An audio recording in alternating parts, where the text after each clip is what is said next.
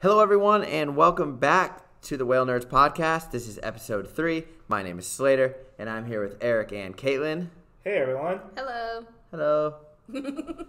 and uh, if you are wondering why we are doing episode three again, we had a little bit of a mishap with the audio file. There was a few skips in that podcast. I don't even know if you guys noticed it, but there was a missing intro and uh, a couple other things. So what we're gonna do is we're gonna change the subject, and we'll come back to that one on a later date. But today we thought we would talk about what? What were you thinking? Uh, what were we thinking? We were actually thinking about probably telling the people the difference between uh, our tooth whales and our baleen whales, otherwise known as. Mysticetes And and odontocetes. odontocetes. Wow, you guys sound smart. Wow, we almost. We are smart. if we could have just said it all said at the same time, it would have sounded fancy. then they would have thought we were robots. we are. So bear with us through as we're learning this whole podcasting thing. Thanks for sticking with us, even though we're we're redoing. This is episode three point one. There you go, 3.1. Three, three squared. so um, let's see. Let's start with the dolphins, the tooth whales. How many blowholes they have, Eric? One blowhole, a single blowhole at the top of their head. There's two types of odontocetes. They fall into dolphins and Oh. porpoises, and the main difference is their teeth. So dolphins have conical teeth, so they look like little sharp fangs. Porpoises have flat teeth. They also also call them spade-shaped teeth. What I like to compare it to is your bottom teeth in your jaw. They're flat, kind of like those ones in the front, all around their mouth. And all tooth whales have one single blowhole. Yep. On the outside, they do have two blowholes on the inside on their skull. All right, that's science. but it's cool because that's how they make sound. So the other blowholes part of their sound production inside their head. and what did they say? That basically there was two blowholes at one point in time, and it slowly removed itself and kind of came went towards the front of the melon. It's like basically like your sinuses. So like we also have these paths um, where like like mucus and things move around in our face, and so they have something similar, but they're able to push air around inside their forehead, and that's how they channel sound out through the melon, which focuses the sound so it's in a specific direction. So was that close? Yeah. Yeah. So, yeah, so I, I thought I heard there was Yeah. it was originally technically like two blowholes, but they Yeah. didn't, they didn't need one, so it, it Right. went towards their went Yeah. towards echolocation. echolocation. Yeah. One becomes more like a closed loop to move air around in the head now. All right, and there's lots and lots of different types of dolphins. Yes. Um, as small as the vaquita or the harbor porpoise, Mm-hmm. and then as big as the sperm whale or the, the orca. Mm-hmm. Yep, exactly. Sperm whales are pretty interesting because they are technically an odontocete, even though a lot of people think that they fall into the whale category. They are a toothed whale. They have one blowhole, and it's way at the front of their huge head. And then there's tons of arguments on whether a killer whale is a dolphin or a whale from people that from people that don't know They're both. Exactly. So what happens when you let the whalers name things without like doing all the science first? Yeah. and then you got your baleen whales, which all have two blowholes on top of their head, and mm-hmm. the baleen plates, mm-hmm. which is like a little mustache hanging down from the roof of their mouth. Yep, that's what Mysticeti roughly translates to is the mustache in the mouth. That's kind of where what it means. Hey guys, you know what? We forgot the the other differences between dolphins and porpoises. We can talk about that for a while. Did you want to? Did you want to jump? Might as well, because I'm sure people are wondering: Is that the only difference with the blowholes and The uh, do- the- and the teeth? Their do- uh, their dorsal fins are also more of like a like a triangular shape, right? Yeah, The- Exactly. The, Yeah. the, the porpoises. And then there's the finless porpoise. Yeah, so course. This Usually- is complicated. yeah, it's kind of fun once you learn it, but it, it's pretty simple. I mean, uh, yeah, the dorsal fin is a major difference. In porpoise, it's usually very triangular, short, and squat. Um, on the dolphin, it's usually going to be more tall and a falcate, which is kind of like more swept back. Like Uh, hooked- yeah, hooked they both have one one blowhole. Uh, we just talked about the teeth. Uh, dolphin usually have conical. Porpoise have like a more of a flat spade shape. Uh, also, one difference is uh, it's not a physical difference, but it seems like age, lifespan Yep. is a difference. Yeah, like 20 years old is pretty old for most porpoise, but most dolphin species live 30 plus years, and some species live 70, 80, 90, maybe 100 years. So the porpoise, like, their lifespan generally shorter. There's a lot of argument too about whether they're evidence of um, convergent evolution or not. So, did they come from the same ancestor on land, Mhm. Or did they come from two different ancestors on land and then they developed a similar body style? For a long time, we thought it was convergent evolution, two separate land ancestors, but now it sounds like the phylogenists are going back the other way. They came from the same animal type on land and then differentiated in the sea. So do you think? What do you think? Like the closest from between like a dolphin and then a porpoise. What do you think the closest like relative they would have? So on land, you mean? Well, like in the water, like if where they split at, you think? Um, Like would you say Pacific Whiteside dolphin look pretty close to Well, that brings up a because good of their point. face? You know. The one difference we just still left out is, in general, they're thinking that porpoises usually have a more of a blunt rostrum. yeah. Uh, but if you really look at the difference between a Pacific white-side dolphin or a bottlenose, you can you know see it's pretty obvious right there. But you know we still classify a Pacific white-side dolphin as a dolphin, and then your Risso's dolphins, same thing. You know they have a really blunt face, and so there's a few people out there thinking that some of our animals that specialize in probably eating cephalopods have developed Yeah. more of a, a flatter type of rostrum, like porpoise probably because it makes it a little bit easier to inge- uh, to go after so cephalopods, squid, octopus, for example. You know, if you have a with lots of legs. yeah, if you got a long You beak or nose, beak. Yeah, exactly. You got tentacles and But then you have beaked whales, yeah. So and they mostly only eat cephalopods in the deep sea, and they have Yeah, but they a got beak. they got two teeth sticking out of the front of their face, so they're they're ruthless and tooth. Well, they got ruthless tooth. and toothless. And I like it. yeah. yeah, but generally the ones that also eat squid. Um, as a specialty, don't have very many teeth, so you're kind of right with that. With the beaked whales, they're kind of ruthless and toothless. Risso's dolphins don't have very many teeth either, Yeah. but the shape of the teeth is cone shaped, even in beaked whales as well, who also fall into the odontocetes category. Um, and beaked whales are kind of like porpoises and dolphins. They also have a unique set of structures, mostly around the face, where they have. It's just it's kind of hard to describe it other than it looks like a beak, like a bottlenose dolphin, but with even more of an intense shape of a melon, like more bulbous head, but still that thick, stout beak They that- look they look a lot different. They look yeah. pretty different. Than Yeah, and then they're them. big, and so they, you know, you can see how whalers call them whales, but they're whales with a face like a bottlenose dolphin. Kind of, it's. I feel like anything over twenty five, uh, twenty feet, they start calling them whales. Yeah, pilot whales, false killer whales, killer. Yeah, all the blackfish have whale in their name. Yeah, So melon-headed whales. not in their scientific name, No, just in their just in their common name. yeah. Yes. Um, so yeah, it's kind of interesting. We're still trying to hash it all out. The hard part about trying to find fossils for a lot of these animals is they may be buried in the deep sea or you know not complete skeletons, and so trying to figure out how they're all related is still an up and coming part of the science. But if they're buried in the deep sea, what are those? What are the things that eat the bones on the bottom? What are they called? oh, the worms. Yeah. Yeah, there's The- a type of worm that actually will eat the the bones of. Uh, There's a name of it though, isn't there? Is it a poly- whales. is it a type of polychaete worm or what is it? Um, I forgot exactly. I think some guys actually over at Scripps described them. Yeah, not really. I don't remember much about them, but yeah, Yeah. I remember checking out whale falls, and you know they thought once the whale was down to bones, it was pretty much done. But no, there is a type of worm out there that uh, uh, that will for decades uh, feed on those bones. Yeah. Yeah. Actually, I heard a fun fact at the um, Exploratorium. They do like a Thursday night science after dark thing up in San Francisco, and they think now that whale falls.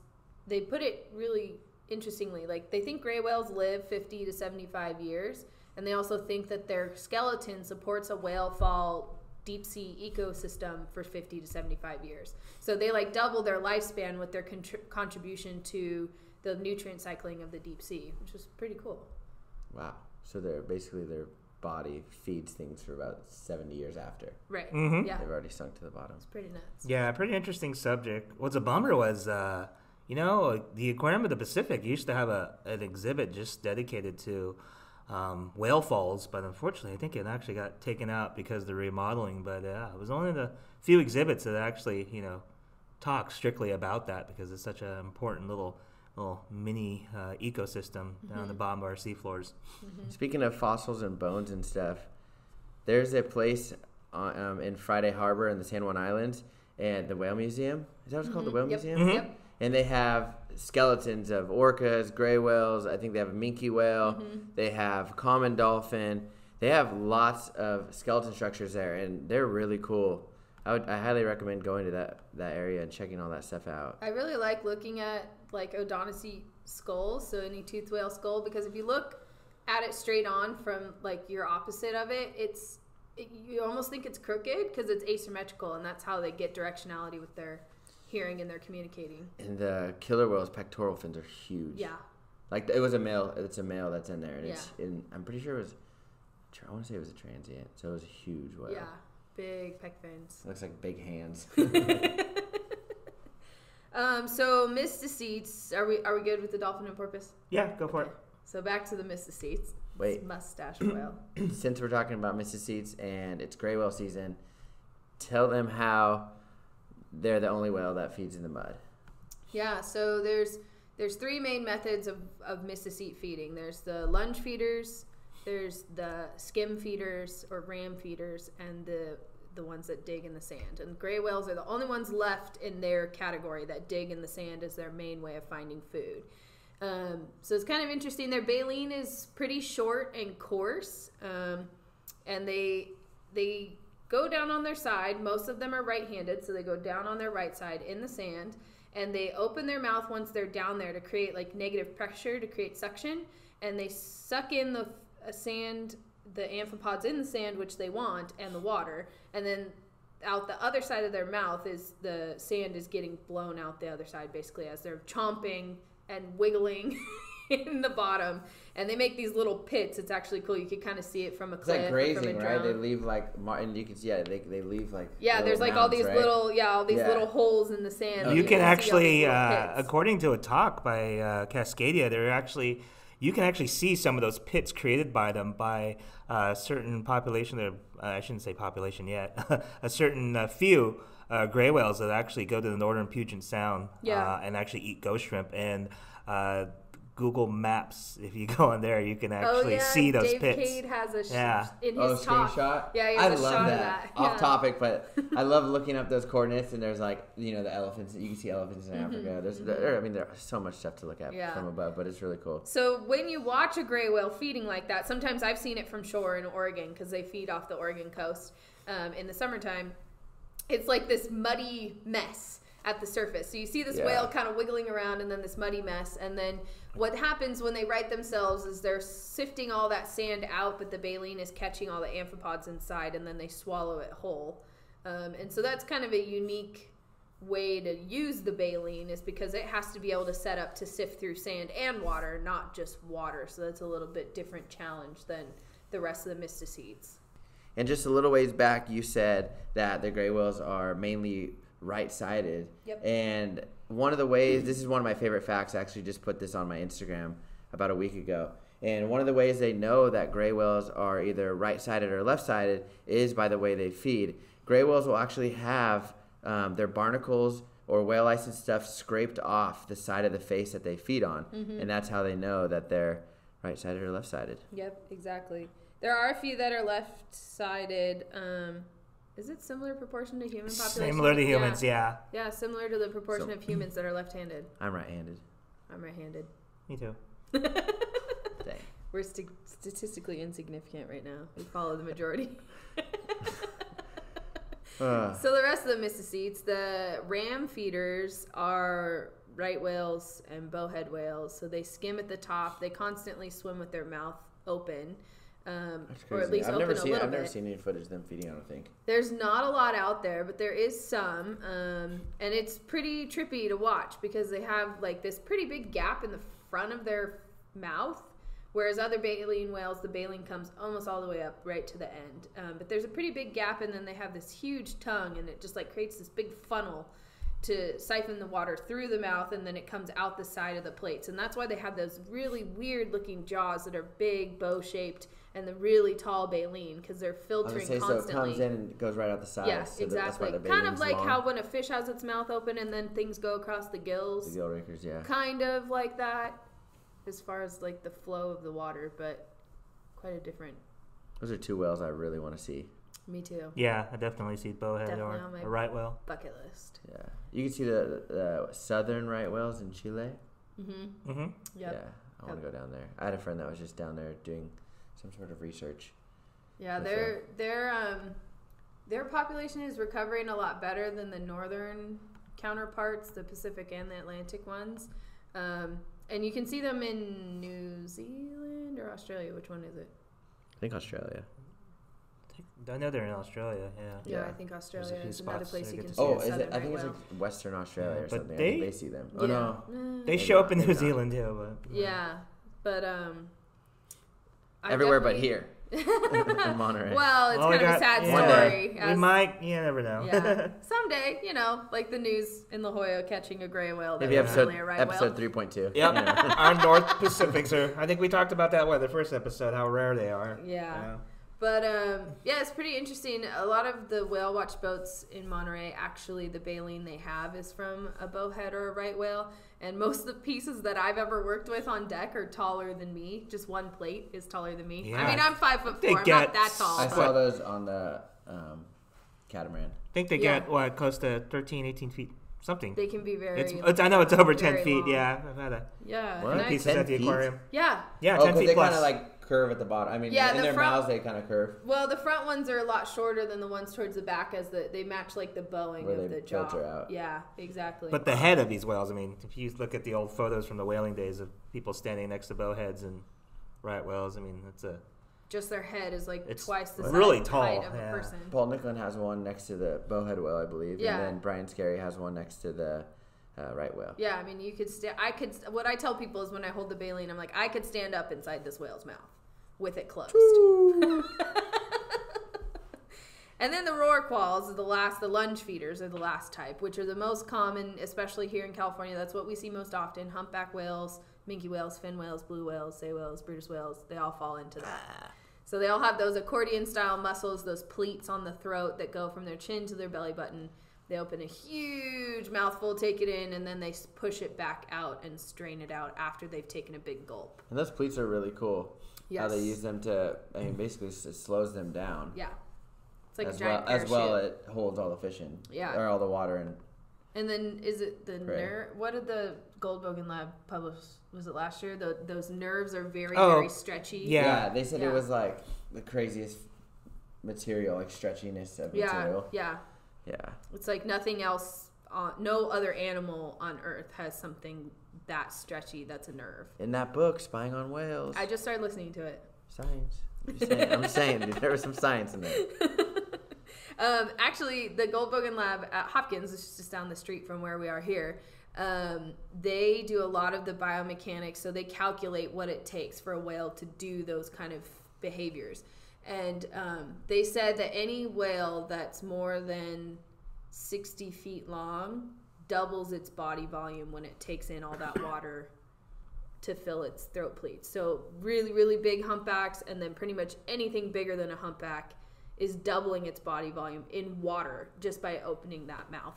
Yeah, there's a lot of amazing uh, new things they've been figuring out. That lab, I do know. I think they upped the the volume of, uh, of a blue whale's mouth. I remember hearing uh, one of their grad students over there saying that they just measured it about what twenty one thousand gallons or so. We We used to always say about seventeen or so, but uh, Yeah. I was like, wow, keep on hearing that figure uh, figure go up. So well, they're getting. I feel like drones and aerial surveys of these animals has really changed the game with how well you can calculate that, and their tag data also is getting really good from underwater on the whale. Yeah, it seems like I don't know why, but it seems like the way whales feed and what they're feeding on it seems to be a big topic nowadays.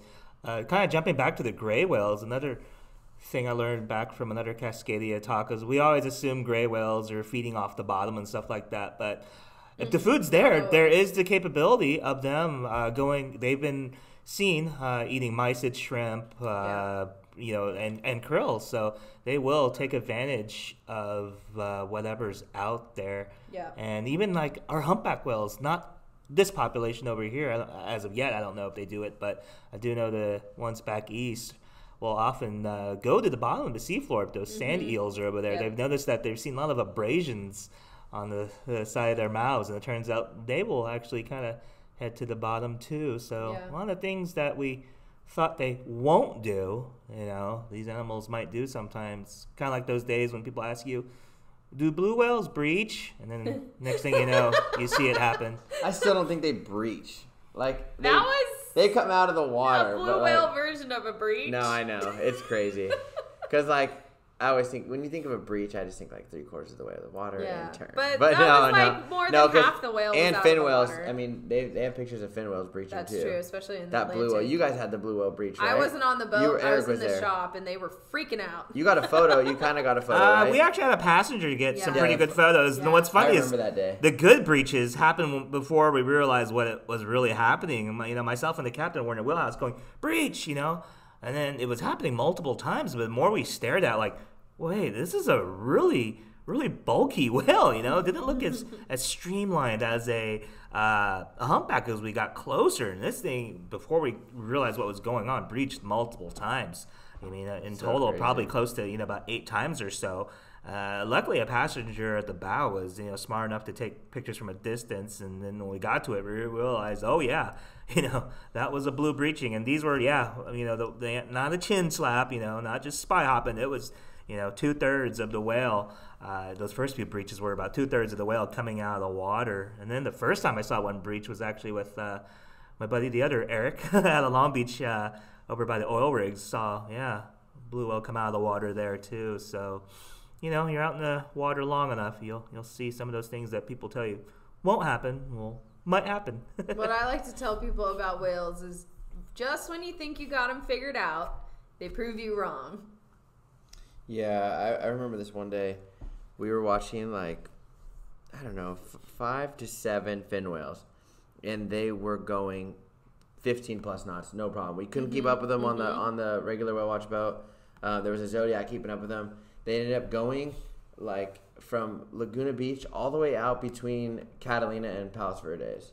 Wow. Like they went far, and a fishing boat saw them out there, and they just kept going. Yeah, So it was, and they were just por- They were like porpoising. Yeah, yeah, Like they the get their entire chin time. way up. They weren't like, Yeah. yeah, they got their chins out of the water, you yeah, know, but like, yeah, I've seen them do that too. We lost, we couldn't keep up with them one time. We tried to follow them. when you're not keeping up with a 60 plus foot, what easily, you know, like The greyhounds of the sea. yeah. I, I've actually seen yeah the fin whales. One whale that I've actually seen porpoise out of the water before, and that was yeah back in Long Beach also. So I saw them do They it in. Monterey after some killer whales harassed them for a few minutes, and they were out of there. And speaking of uh, fin whales, Caitlin, you might have saw this too.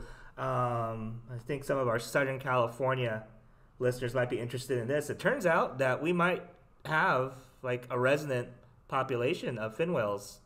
I don't know if you read that poster that was out there. Different, different than the um, Gulf of California.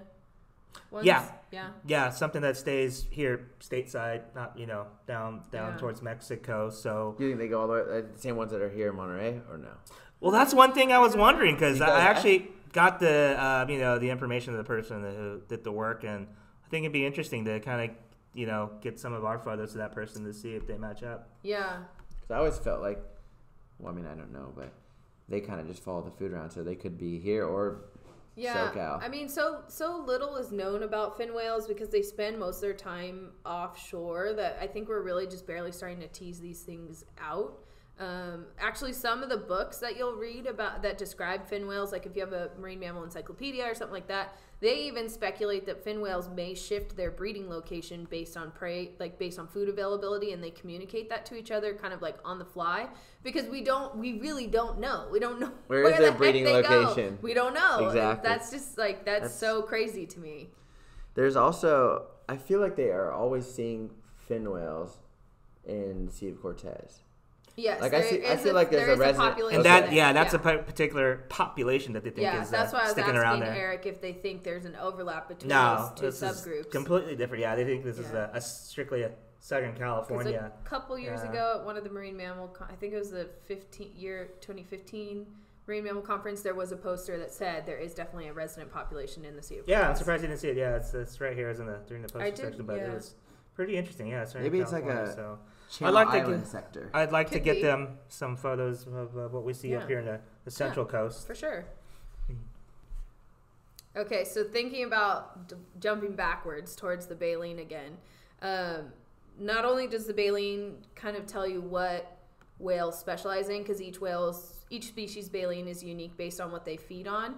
Um, it also provides a record of the whale's life. And some species you can get up to 10 to 15 years worth of information about, you know, stress the whale received. Um, sometimes even like toxins in the ocean get um, kind of bonded into the baleen. And then there's other ways that um, you can track those changes longer through through whale earplugs too. So we're trying to, as science is figuring out all these changes in the ocean and who's going to make it and who's survived thus far. Um, it's kind of interesting to watch how they're how they're documenting that. Baleen is one way, but also uh, whale earwax is another way. And that you just sent me an article, I think, while I was down south. Yeah, yeah. So just the baleen and the earwax kind of lay down in layers, the same way as rings on a tree. Um, and the earwax actually stays in the is documented from day one of the whale's life until the day it dies. Whereas baleen keeps growing, it breaks, it frays off in the end. The earwax, you get a complete life history of the whale, and a lot of what gets stored in there that scientists are using um, to assess stress in whales or like how the whale's life is going is cortisol. So with tree rings, you know, you look and you're like, oh, well, when the ring's thin, there wasn't a lot of water. When the rings are thick, there was a lot of water, there was a lot of growth. For the earwax, if there's not a lot of cortisol, then things are going good. There's not a lot of stress because um, even humans have this. Cortisol is a hormone that gets released in our blood and our fat um, when we're stressed, and it also gets stored in earwax in whales. And so, if there's a lot of cortisol in the layers, then it was very, very stressful. And um, you can see in some types of whales, and depending on which specimens you get, you can see the onset of the Industrial Revolution. You can see the whaling era.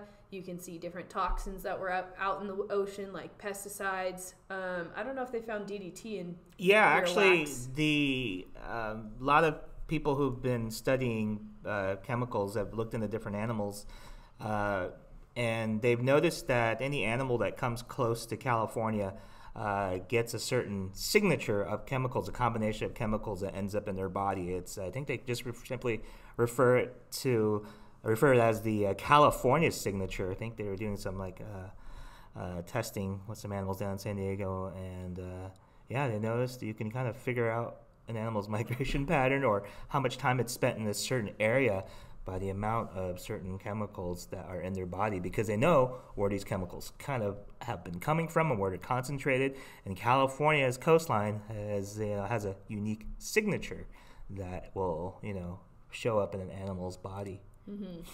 And as the oceans get noisier, as the, as humans continue to use the ocean in different ways, um, they're seeing more and more a trend towards just higher background levels of cortisol in whale um, bodies, in their blubber, in their blood, and, and then in their earwax. Um, so it's definitely something to think about. It's a, it's kind of kind of sad, kind of a bummer. We're we're stressing whales out at a new threshold because of all the noise we make in the ocean. But it is interesting to know that after a whale dies, if you can extract that, you can get a complete life history of the whale from something as bizarre as earwax. You think it's for sure the noise, or could it be that like there's not as much food? yeah, it could be that too. Be a Not bunch as of much things, food, Yeah. warmer water. A lot of, I um, mean, when I don't eat, I get stressed. That's for sure. Yeah, less food causes more stress, so more cortisol will show Yep, up. So yeah, yep. being chased after by you know someone with a harpoon, the amount on the bow of the boat obviously going to make uh, cortisol go up. So that's what's causing that signature to show up in these animals. I wonder if like one traumatic day could show up. Um, definitely in the blubber like, and in the blood, but I think probably for it to show up in the earwax, it'd have to be weeks to months. Of Like that whale that got hit, you know, the calf Mhm. over the summer, which ended up being okay. We saw a couple months Yeah, later. Yeah. Um, do you think like that's something you could try? You could read like a stress from that day. Maybe it depends on the, I guess, the severity of the injuries. If it took a long time to get over the injuries, like six months or something, yeah, it probably would show up in that layer. Uh, but definitely, if you were to test that little calf's blubber for the first few weeks after the collision, the cortisol would be very high. All right. Science. Yeah, so earplugs not only kind of tell you the animal's you know stress level, health, but uh, also age. Yeah. And yeah, so Yeah, you can age you can age whales through um, earwax, which is I think going to be interesting as we try and figure out how to maybe age whales with biopsy samples. So they're trying to figure out if there's like a way to run the genetics. If you can tell how old a whale is, and so the earwax can kind of provide some ground truthing to that. I mean, you can't extract earwax from a living whale. You do have to wait till the whale's Yeah, dead. To but they get were that. saying that the the wax, obviously, wax is such a soft substance. You know, it doesn't hold up as well. So, you know, your readings from it, uh, especially age, are going to be obviously a guesstimate, not exact. Mm. Yeah. Mm-hmm. Do you think that maybe Snotbot maybe can yeah. get some age from that? Yeah, they're just From the blowholes? Yeah, running the running the genetics of the cells that are coming off when the whale's exhaling is is one way. It's not very accurate. There's yet. definitely stuff coming out of those blowholes. We saw that. Yeah, definitely. A Eric lot and of, I uh, saw that happen. yeah, a lot of uh, different things coming out of there. In fact, uh, we used to always say when you see a blow, you know, or a spout, that uh, it's, it's a number of things. It's a little bit of uh, seawater, obviously. It's going to be a little bit of vapor. Um, and also, a lot of it's going to be mucus, and also uh, some of it, uh, including in that, you know, in that mucus, is going to be a, a little bit of bacteria. So that's why the, these uh, snot, aka blow samples, are so important because you can still get cortisol from it. You can get a Yep. big snapshot of the animal's health because some of that bacteria might be, uh, you know, uh, something that's obviously uh, bad bacteria, and you can, might be able to tell if the animal has a, a illness or not. But there's a lot that these whales leave for us that can actually give us. Uh, us, uh, a health assessment of the animal, and even their their feces, their poop. Oh man, that's a we can do another whole another talk on that. That will give you stress level. That will give you. Um, uh, you can even get. Determine if the animal is a male or female from that. Uh, you can even tell if the animal's pregnant. Just kind of like a, a stool sample that's left by you know your dog that your vet usually requests, or hey, even that's some humans sometimes will give you a great uh, health assessment. Yeah, and um, have you ever had to wash whale snot off your glasses? Off of my camera. Yeah, off your camera. It's My drone. gnarly. I tell people like if we happen to have like whale snot drift over to us from the boat or we get like a friendly whale or something, I'm like, wait to wipe your glasses off until you get to soap and water because smearing it around with your shirt is not gonna help because it really is mucusy. It's pretty gross. Speaking of stuff coming out of blowholes, I uh, I filmed that CA one ninety nine that lone male that went down the coast, Mm-hmm. and I have a video of him launching like a big old Oh, wad yeah! of snot or mucus. I remembered watching. It. It's just that. like I did it in like sixty frames, so was just like splash, and you could see it going out Yeah, and landing and remember sitting in the water. Sent it to me, and you were like, "Dude, look at this." She collected it. He blew a booger out. You think it was just snot or something? yeah, probably just coughed it up. I thought maybe something was like right, you know, resting like right where the, the water kind of rests on top of their blowholes. But know, I I was like, that's a lot. Uh, That'd be Yeah. Be That happens sometimes. You never know. I've actually seen a sea nettle get launched into Yeah, I another, could see that. another atmosphere by uh, a humpback whale once. This is the funniest thing I've ever seen. I don't know. This video Slater had that definitely looked like mucus to me. God, that's my next goal is to get a sea nettle. Yeah, it was actually our buddy Shane, and it, he, he said he has got, I got a blurry picture of it, but it was those of us who saw it. It was the most comical thing I've ever seen. I I've never- seen was that here? In Mon- oh, oh obviously, Yeah, it was here in Monterey. Monterey. I never seen something get launched so high out of the water I've by a seen whale. birds like flying over a whale and not expecting it to breathe, and the bird gets flown off, blown off course. Oh yeah, I have so many pictures of, of like you can see the because the bird will like stop and like spread Yeah, its wings back yeah. and try to like stop in its Yeah. tracks. Yeah, I've seen. But I pel- think pelicans get hit. I think the best all-time snot story of them all is has to be when uh, me and Slater were on the uh, Oh, yeah. ACS trip that one oh year. yeah. Uh, This lady, we had a friendly whale for three ladies. That was a Yeah. big blow. Yeah. the whole bow. Honestly, Yeah. that we had a friendly whale for well over 30 minutes. It, it, it actually left and then came back to the boat twice. And there was another whale that was actually hanging out just off, like 100 yards off from that one, just like, what are you doing? and his friend's just rubbing himself on the front of our boat. And these three ladies were, were like, just enjoying the, the view. And it exhaled. They forgot you should not ever ever put your head directly over the blowholes of a humpback whale. That's how close the I'm- whale was. So I'm going to Baja this next month, and I'm like, I'm probably gonna get covered. Yeah, you gonna- actually have to time that. Uh, when I went, yeah, you, you have to learn how to time that. Uh, some people will take those storm shields with them, but you'll realize they'll be more more cumbersome to, to actually you know adjust you know your camera and stuff like that. So just just time it really well. Yeah, you're gonna get hit in Baja a lot by gray whale snot. That's fine. That'll be Slater's podcast. Yeah, to some people it's a How dream to come true. Yeah. off of your camera. I'll, I'll, I'll write a book. I don't know if you guys heard about the Nikon story, but yeah, I got snotted on a lot. Uh, I think my first year in Baja, and it actually uh, caused some issues to my camera. So I took it to a, a a place to fix it, and the first thing out of the guy's mouth when I, you know, when I when he uh, wanted to tell me what's going on, the phone was like, "Have you been around salt water?" Aliens. and I was like, uh, couldn't lie to him. I was like, yeah, that's all salt water and whale snot you got there. He's like, he's like, oh, that's what it is. So, yeah, be careful with your equipment.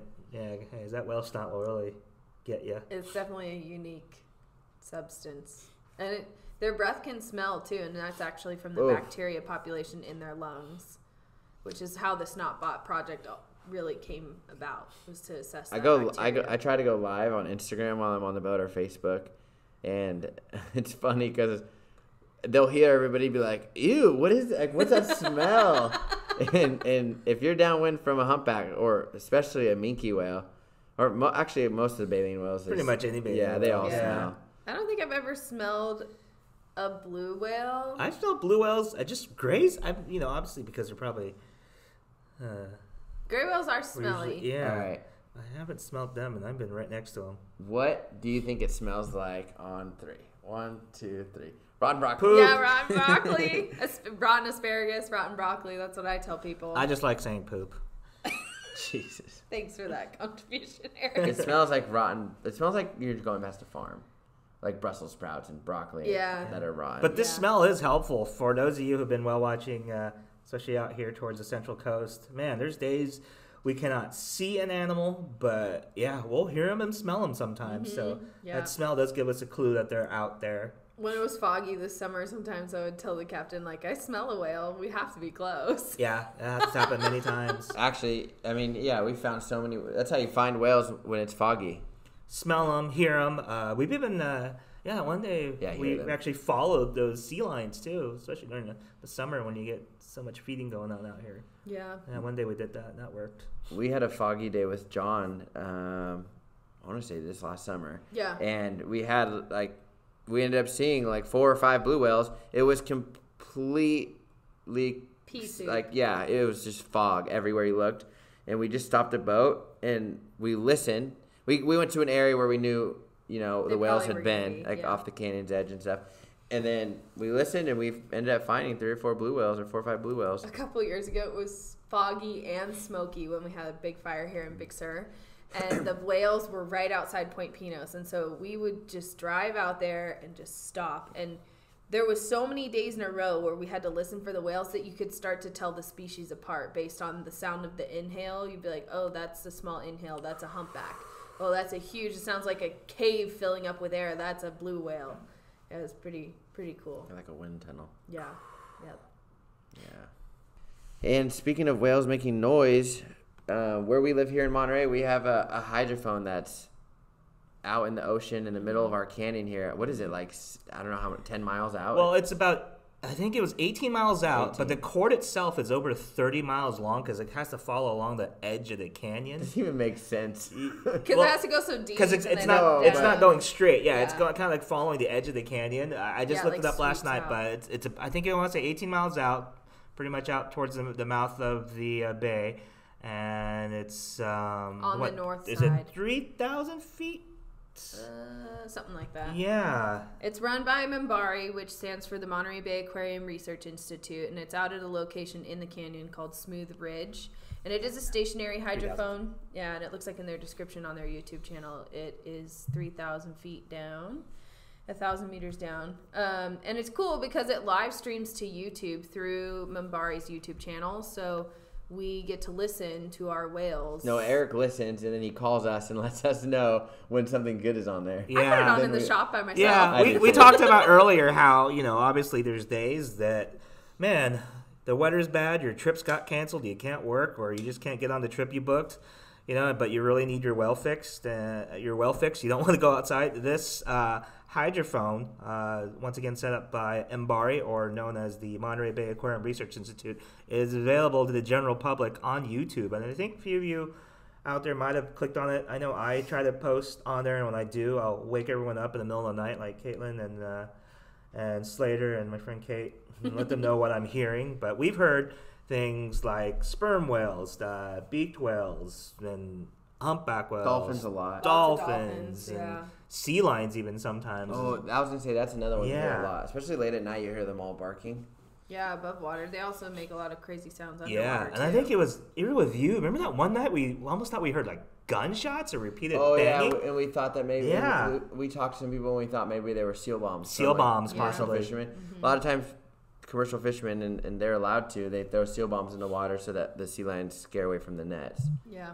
Yep. which may or may not work sometimes. Yeah, They probably get used. If to you guys don't know, yeah, we uh, here in the, the Monterey area have uh, the best uh, kind of uh, opportunity for fishermen to load up on uh, market squid. Yeah. So when they're out here, the the uh, sea lions want to join in, and the commercial fishermen actually use these little uh, firecracker-like little uh, objects that.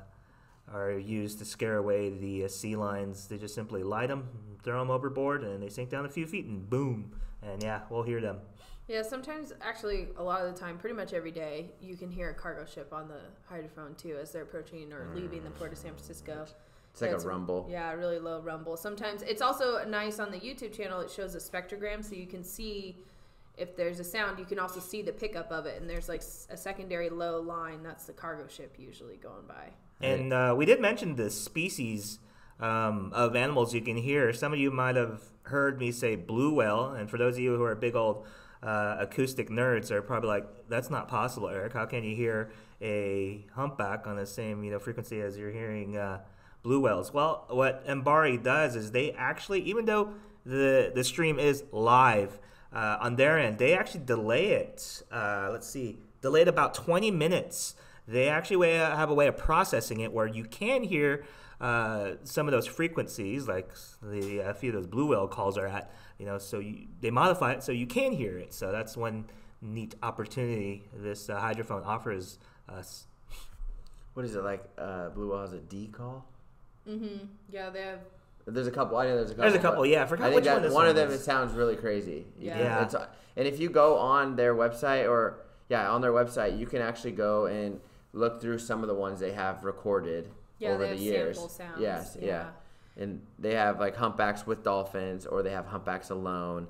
Mm-hmm. Um, if sper- you can hear the clicks of the sperm whale. hmm In the cool fall, stuff. we get humpback whales singing too, which is Yeah, cool. and we you found you called me one night with Eric called me one night with uh, humpback singing on the hydrophone. Yeah, some You nights it's it. amazing, and it's it's just like putting on a concert or something like that. So we we all never a get nerd concert. Yeah, a lot of us never get never get tired of listening to this thing. So if you haven't uh, checked it out, uh, how would you search it? Well, it's under uh, Monterey Bay Aquarium Research Institute, and they have in parentheses uh, Mbari, and it's uh, labeled Deep Sea Sound Recordings Live Stream. So uh, click on that. I know it goes down temporarily sometimes and then it pops back up in a day or so but yeah this is a neat opportunity for you folks who need your well fix even though you got even if you're landlocked you'll still have the opportunity to hear these creatures that we're talking about The other day we could hear the rain on it too. Remember we were all Oh, in the yeah. shop and you could hear the rain on the hydrophone.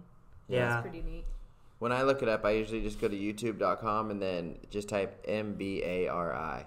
And Oh, it then- shows up and, that way? Yeah. And, Okay, then, good. and then you can because they also have they have the the live recording and then they also have videos recorded on their channel uh, because they also do like submarines and uh, or ROVs and stuff Mm-hmm. here in the canyon and they have some of the you know the fish that you guys see on Blue Planet, the deep sea fish like the Yeah. the angler fish or stuff Yep. like that. They have that all recorded here in Monterey Bay um, from the Monterey Bay Research Institute. Yeah. Yeah, there's some really cool stuff that comes off the ROVs, and then they have um, processed and, and described samples of, of sounds from the hydrophone, and they have lots of good stuff. Yeah, I just wish they made it like the the comment section or, or oh, you know what? It's back on. The comment section is actually it was disabled before, but it's back on. But I wish there was like someone you can uh, talk to for, uh, or would be Oh, like monitoring. consult yeah, or monitor this more this Well, they more need to closely put it because on there's so many questions about it. Yeah. They should put it on Twitch, and then you could comment, and then have some. That means they'd have to have someone there twenty Someone four have hours. to sit there all the time. They could just yeah. make it like eight Yeah. a.m. to Cause, four p.m. Yeah, because some days Yeah. you hear sounds like it almost sounds like you know they have the hydrophone on a desk or something, and someone's moving it. And there's some like really mysterious sounds on there some days, Yeah. or that weird clunking sound we kept on Oh, hearing that other day. it So almost it's like sounded like someone was like getting gear on and off their boat, or Like like, banging a metal box or something, And it was yeah. like a clank on the side of the boat. Yeah, it was weird, and it only happened a couple times at different intervals. We couldn't figure it out. yeah, but this has been something really fun for the well community out here to to to enjoy. Yeah, like I told you, it will cause a lot of late night calls if some one person's up to But- you know get on that hydrophone. If I don't hear whales, I just don't go whale watching. I'm just. I wish it was like that easy though. No, I don't, Oh because my it, it, the, the the fun part is actually That's- yeah, exploring that would because you never all know what's gonna come up. That would take all the adventure out of it. Yeah, another thing is, yeah, folks, if, if we're hearing whales, yeah, it means we're hearing them, but it doesn't exactly mean they're Yeah. it means they're close. So in in water, sound travels really well, uh, as I always say on the boat, because it has something to travel through. Uh, it's capable of traveling traveling a thousand times farther in water and four times faster. Why is that? Because the waves actually have something physical, the actual water uh, to travel through. So I kid you not, some of the whales we are hearing could literally be, uh, you know, if the conditions are right, hundreds of miles away. So it doesn't mean they're actually over the hydrophone, but some days it sure does uh, sound like they're over the hydrophone. Mm-hmm. Yeah, for sure. I mean, blue whales have been recorded communicating to each other across ocean basin ocean basins, um, and that's been proven with hydro- hydrophone networks all over the um, oceans. But if you hear dolphins on the hydrophone, usually that means they're pretty close to where the hydrophone is. Their sound doesn't travel nearly as far. And you can hear them for a while sometimes. Like, yeah, yeah, you and know. you'll hear them fade out too as they move out of the area. That, That's that, was, that was Slater, not the hydrophone. Don't get excited. Beedo, beedo. That was a pretty good Pacific White-sided impression. Killer or the the transients sound like crying Mm-hmm. people. Yeah, it's a little scary. It's a little Yeah, eerie. it sounds like kind of scary to be honest. Yeah. Risso's dolphins sound kind of creepy too. They like make these really like almost like in the horror movie when the door creaks open. They make those like I creaking don't know if I've heard sounds. Risso's. Yeah, a lot I think I've heard a A lot of our whales actually make some pretty creepy sounds, but uh, I think the ones that do usually aren't in the frequency we can hear. I know there was recently that footage released of minke whale uh, Oh, they vocalizing. sound like Sounds like a spaceship. yeah, Okay, yeah. the dwarf minke was- whale in the Antarctic. So there's that, the minke whale, and then what's the seal? The Waddell seal. the Waddell. Waddell I seal, was, They yeah. sound Antarctica stuff. crazy. And I think even uh, bowheads. It's like Yeah, bowheads can actually sound pretty unique Yeah. uh, also. So Oh. if you guys are wondering what we're talking about, yeah, get on that uh, YouTube or any uh, other whale related uh, website. You might be able to find some of these vocalizations out there. They're just, it's amazing. It doesn't sound like a sound that is coming out of our whales. So Yeah, the Weddell seal, Weddell, Waddell, Weddell seal. The first time I ever heard it, I honestly thought it was like the lead into a Pink Floyd song. I was like, "What?" I honestly thought someone just did like a uh, like because it was a cute whale or a cute cute seal. I thought they just put like a little music over Like it it or something. Yeah, like it was just an ambient sound or something. It was. It's weird. It's cool. And then it kind of echoes funny underneath the ice too when they're doing it. And Oh, they do it underwater even too, you think? Even crazier, yeah. The one I heard, he was just sitting on the ice. I'm sure they can't. Oh yeah, the underwater sounds are like they sound like they're made by aliens. It's crazy. Maybe they are. maybe they are aliens. Maybe they've been aliens the whole time. They've been studying us. You know what? I like this episode. Good. Ep- Episode three is a good one. Episode three point one. Oh yeah, Much improvement. the, the new and improved episode three. well, should we end this right here? I think so. Now you have some homework of things to look up on the internet. Let Yeah. us know what you think. Well, you guys, thank you so much if you made it this far, and thank you for listening to all the podcasts before this one and the one that got taken down if you did. Hopefully, we won't have any more um, hiccups like that, but we're learning and this is all new. But thank you so much for joining us. And if you guys don't follow us on Instagram, it's Whale Nerds. And uh, leave us comments or questions or anything you guys might like to hear on the podcast, and we'll try to bring them up in an episode. Thank you. We'll talk to you next time. All right. Thanks, everyone.